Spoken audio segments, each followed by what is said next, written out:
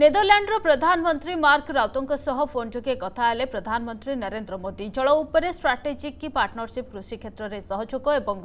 ଶକ୍ତି ଓ ବୈଷୟିକ କ୍ଷେତ୍ରରେ ଦ୍ୱିପାକ୍ଷିକ ସହଯୋଗ ନେଇ ଉଭୟ ନେତାଙ୍କ ମଧ୍ୟରେ ଆଲୋଚନା ହୋଇଛି ଭାରତ ୟୁରୋପିଆନ୍ ୟୁନିୟନ୍ ସମ୍ପର୍କ ଆଞ୍ଚଳିକ ତଥା ବିଶ୍ୱସ୍ତରୀୟ ପ୍ରସଙ୍ଗ ଏବଂ ଭାରତ ପ୍ରଶାନ୍ତ ମହାସାଗରରେ